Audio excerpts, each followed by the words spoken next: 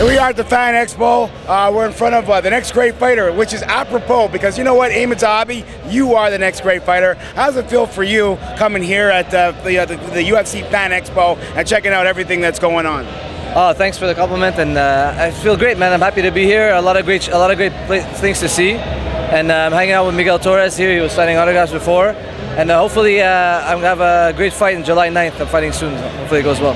Oh yeah, can you announce anything officially, or just people be on the lookout for Aiemann Zahabi and uh, on Facebook or wherever else about your next fight? Yeah, look out for July 9th. Uh, I don't have an opponent yet; it's still a little far away, but uh, they're working on getting someone for me to fight July 9th.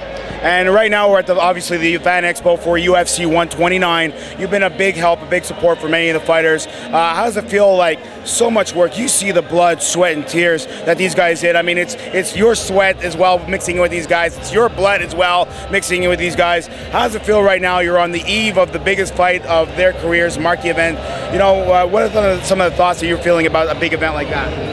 Well, uh, I just want to say that it's not only me helping out the guys. Obviously, my brother Firas, the head coach. Uh, Peter Sisamfu, John Chamber helps them out, and a lot of other great coaches, Eric O'Keefe and those guys.